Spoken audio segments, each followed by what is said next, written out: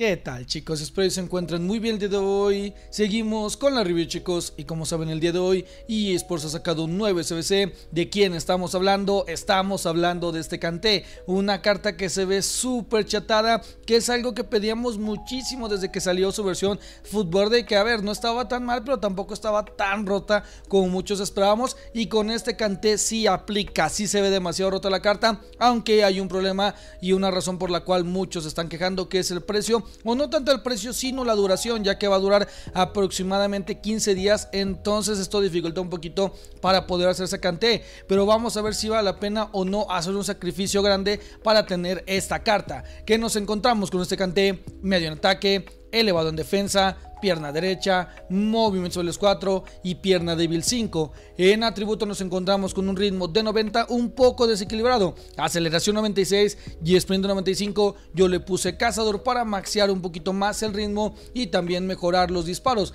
Le pueden poner catalizador de igual forma, pero yo creo que los pases ya están bien en lo importante, así que yo recomiendo un poquito más cazador. En los tiros destacamos el posicionamiento de 88 y la potencia de 87. En pases que tiene cosas muy buenas a mi gusto, visión 95 y lo importante para mí, pase corto 98 y pase largo de 94. Los centros y el tiro libre creo que no es un problema. El efecto sí puede llegar a serlo, pero al menos lo importante que es el pase corto y el pase largo está bastante bien. En regate que está bastante bien para hacer un MCD agilidad y regates de 87, balance y reacciones de 99, control de balón 91 y compostura de 93. En defensa que prácticamente es perfecto defensivamente ya que tiene 99 en todo, intercepciones, percepción y entradas y barridas de 99, solamente cabezazo 84, pero para defender es una carta prácticamente perfecta. En físico, salto 85, energía 99, fuerza 82, que de una vez les digo no es 82, en juego se nota muchísimo más alta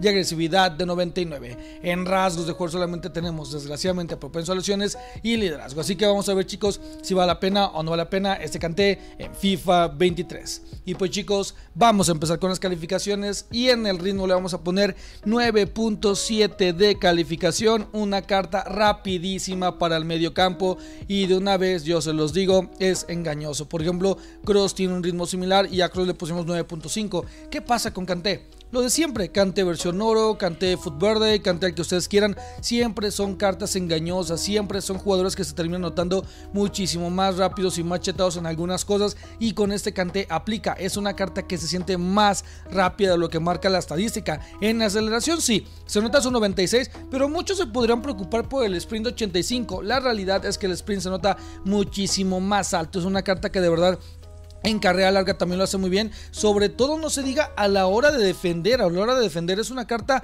súper rápida, de verdad. Muy fácil de ocupar con el tema de la velocidad. Es muy fácil de defender con este jugador. La aceleración hay que decir algo. Esto te hace que sea una carta muy fácil de ocupar para cualquiera. Incluso si tú no sabes defender. Miren, aquí había entrado mal y el jugador volvió a pasar. ¿Y qué pasó con Kanté? Volvió a regresar, se la quitó a Ginola, le tapó el tiro, rebota y otra vez se la quita a Ginola gracias a esa velocidad tan top que tiene Kanté. Es una carta súper súper rápida, súper fácil de ocupar. Si tú no sabes defender tanto y te terminan burlando y no terminas haciendo la entrada de una forma adecuada, no te preocupes, Kanté va a estar molestando bueno, y no se la quita, pero es el culpable de que pierda el balón, de lo castroso que está ahí, nada más empujándolo, jaloneándolo. Y a pesar de que ya estaba en una distancia un poco desfavorecida, y aún así Kanté, por esa gran velocidad que tiene, se termina recomponiendo gracias a ese ritmo brutal que tiene la carta. Definitivamente en velocidad es una carta muy engañosa y créanme que el sprint se nota más alto en el juego de lo que que termina marcando. Así que por eso 9.7 en la calificación de ritmo. Y ahora vamos chicos con el tiro y por favor mucha atención porque luego dicen, ¿cómo le pones esa calificación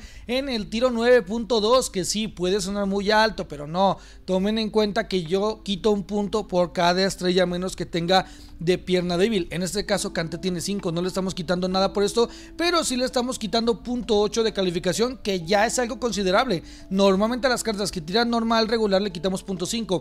A este Kanté le estamos quitando punto 8, porque para empezar no es un jugador que vaya a subir mucho, no es una carta que vaya a tener muchas oportunidades de meter disparos, que vaya a meter goles, porque siempre está muy clavado atrás, que esto no es necesariamente malo. Al final de cuentas, este Kanté es un jugador de perfil defensivo y es más pensado para defender que para estar atacando Créanme que la verdad, ese Kanté en disparos no lo va a hacer muy bien, no va a ser una carta que tenga buen disparo, que tenga buena potencia, ni nada. Simplemente en disparo, pues la verdad no es, no es que sea muy bueno, aunque metimos uno que otro gol no es una carta que destaca en ese sentido, pero es más que nada por el hecho de que está muy clavado atrás, que para mí eso es positivo porque al final de cuentas los que se van a hacer a Kanté no están buscando un box to box, están buscando un MCD que les ayude a defender. Así que por eso 9.2 en la calificación de tiro. Y ahora vamos con el pase y en el pase le vamos a poner 9.2 de calificación, una carta que la verdad pasa bastante, bastante bien. Es un jugador que en balones cortos lo hace muy bien, los cambios de juego también, los balones filtrados también los hace bastante bien.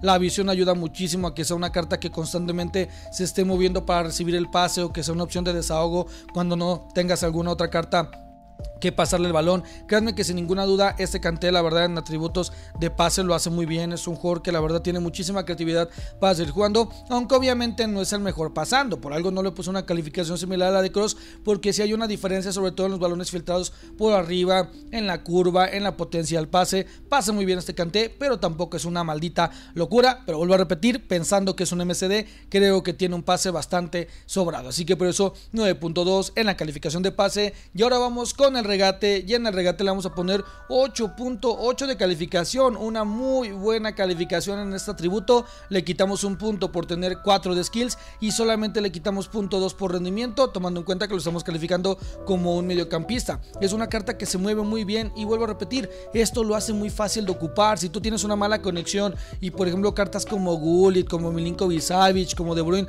no te terminan gustando porque en movilidad te terminan perjudicando mucho porque tu conexión no es la mejor simplemente tal vez no tienes tanta habilidad para, regatear con el joystick, créanme que este Kanté no va a ser un problema en ese sentido porque es una carta muy chiquita, muy chaparrita y la verdad se siente muchísimo más ágil de lo que marca el atributo de 87. Créanme que se nota como una carta de 91, 92 en agilidad, su balance ayuda muchísimo a que puedas hacer zigzag, a que te puedas cambiar de dirección bruscamente, las reacciones ayudan muchísimo a que haga un pase de primera intención rápido o que si incluso lo terminaron burlando rápidamente de reacción y vuelva a regresar. Es una carta que la verdad lo hace bastante bien, su control de balón también es bueno. Eso sí, lo que no me gusta del todo es el hecho del regate ya en velocidad alta porque sí se le despega mucho el balón. Al final de cuentas, vuelvo a repetir, no es una carta tan creativa, es una carta más para destruir que para construir.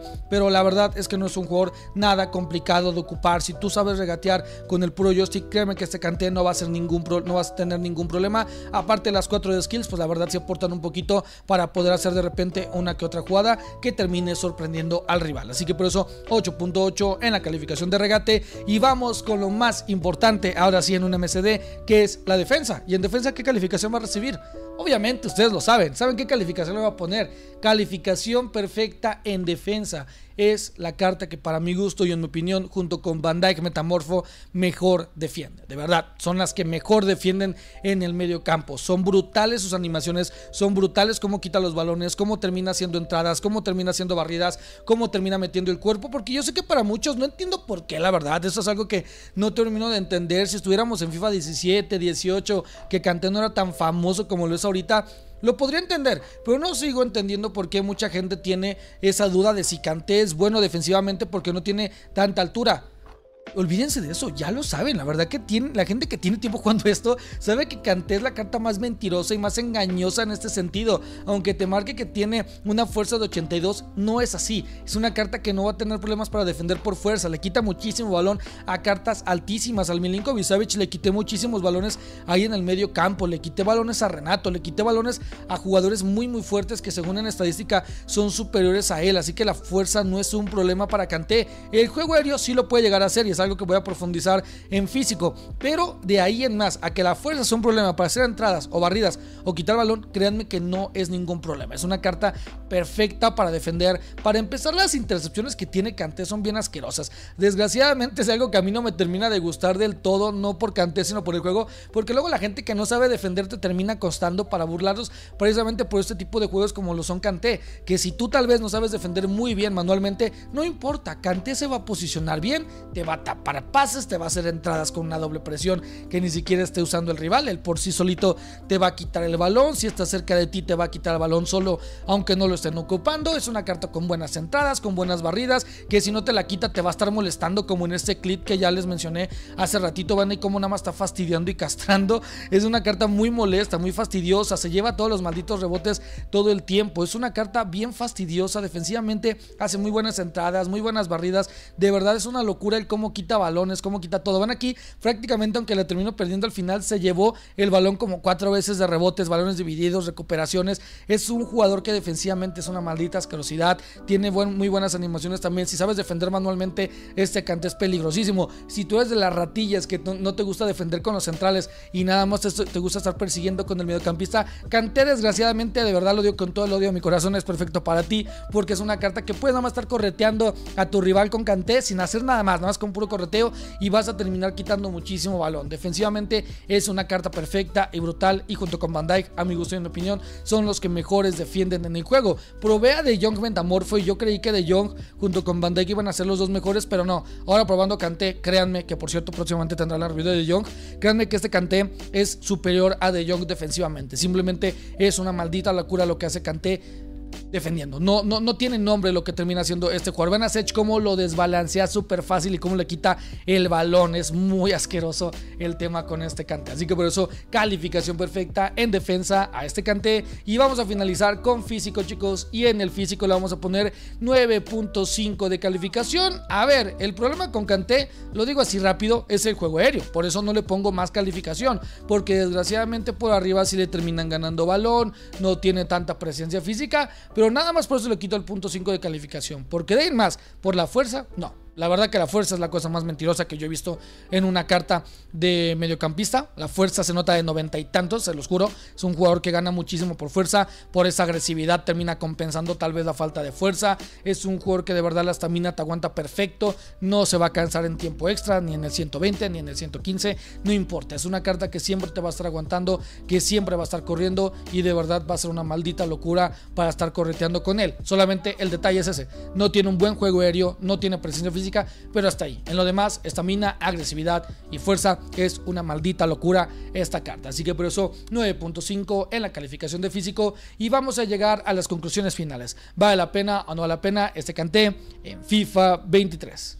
Y pues chicos, en casual, 4 estrellas y media. El precio para mí no es tan malo, la verdad. Si les soy muy honesto, para mí el precio no es tan malo. Ahí ya les adelanté la tryhard, ya les hice un spoiler, ya lo vieron 5 estrellas. Pero a ver, en casual, ¿qué pasa? Para mí el precio, la verdad, no creo que sea tan malo, la verdad. El problema con este canté es el simple hecho de que dura muy poco, dura aproximadamente dos semanas.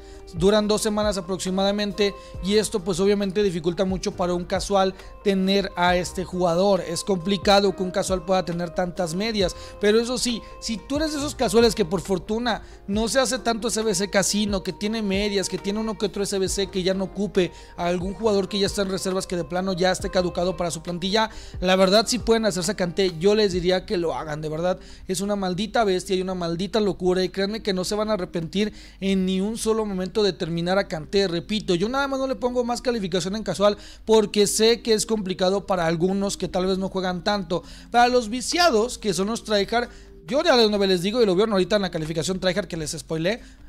Es 5 estrellas porque no va a ser tan complicado. Pero para un jugador casual, creo que sí es un poquito complicado por ahí tener al final de cuentas a una carta de este precio y de este tipo. Pero ¿qué pasa? Es que si lo terminas haciendo y lo, lo, terminas obteniendo en tu plantilla, prácticamente te estás asegurando uno de los mejores MCD del juego junto a Bellingham, Tots, a Jong y Van Dyke. Solamente compiten estos tres. Los demás no los voy compitiendo como MSDs. Ni siquiera mi amado Vieira Trophy Titans. Ya saben que yo amo a Vieira, saben que siempre lo he defendido en cualquier FIFA.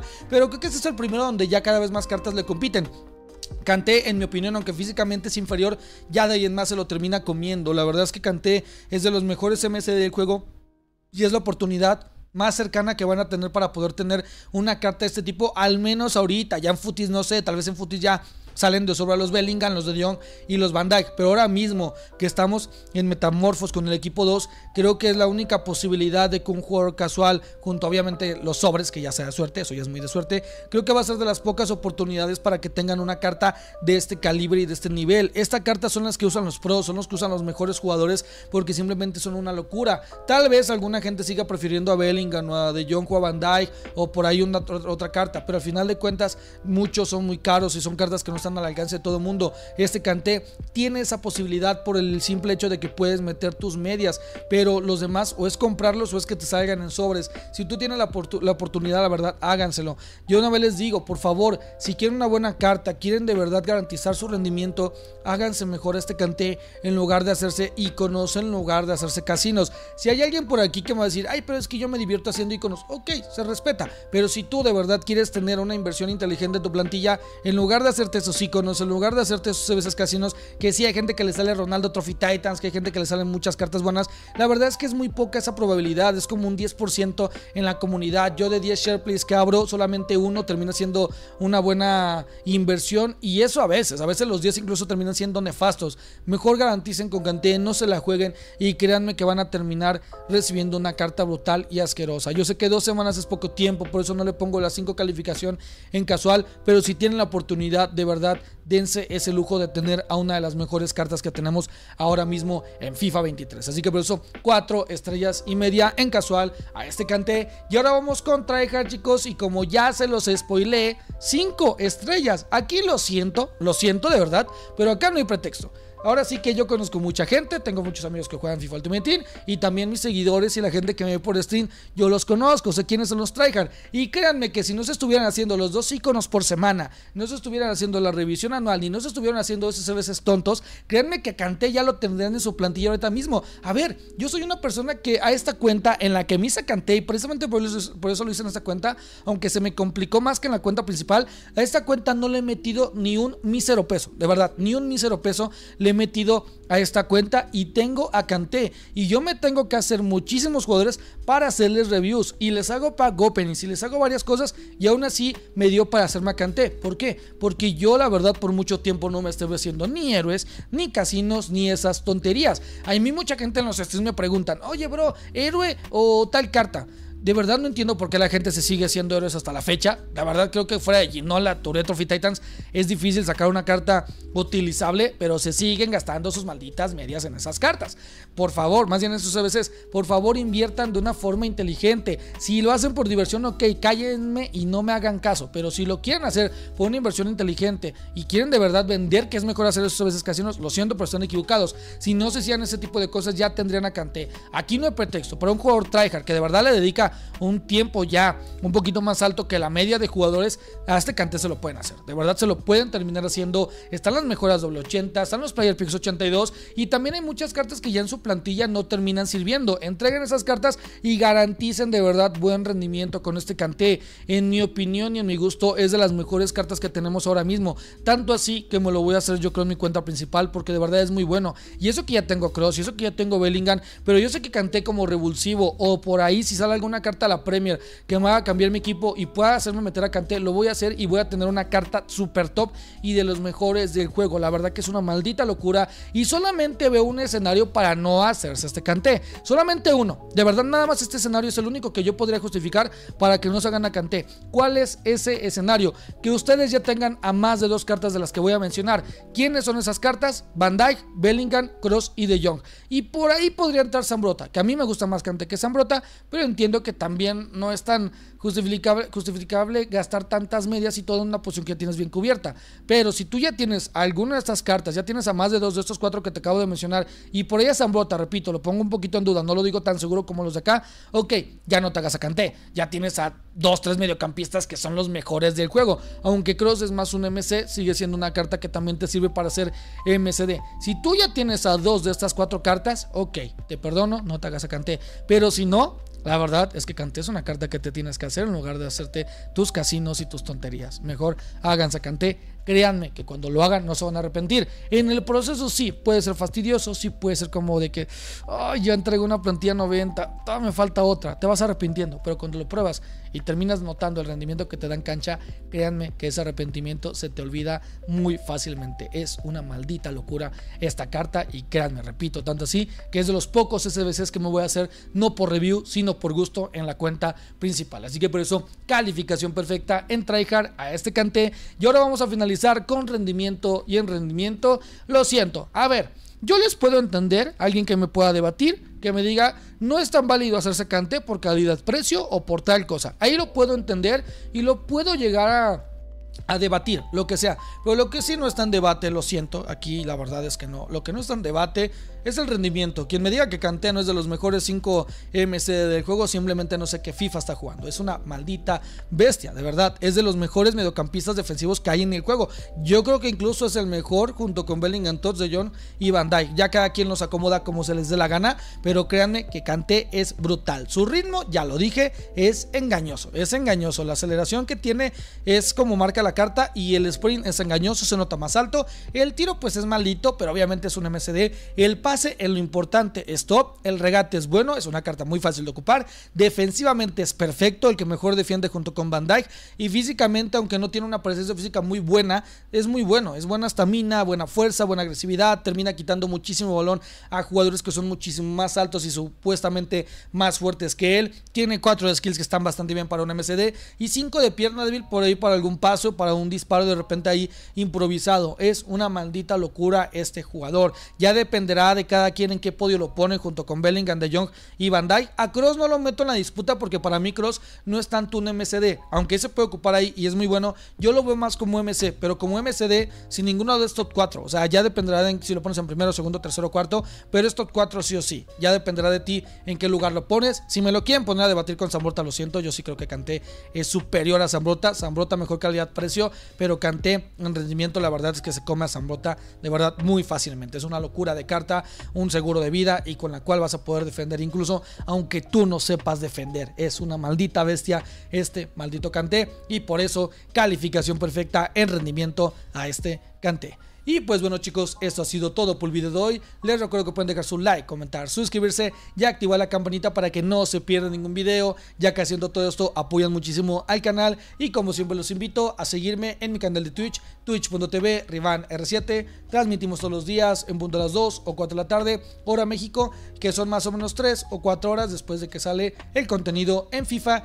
Y que de paso me sigan por todas mis redes sociales, Instagram, TikTok y Twitter, donde me van a encontrar como Rivan R7. Todos los enlaces están acá abajo en la descripción. Y pues chicos, esto ha sido todo video de hoy. Y de verdad chicos, se pueden dejar muchísimos likes y muchísimo apoyo a este video porque no fue un SBC tan fácil de hacer. Los amo. Bye.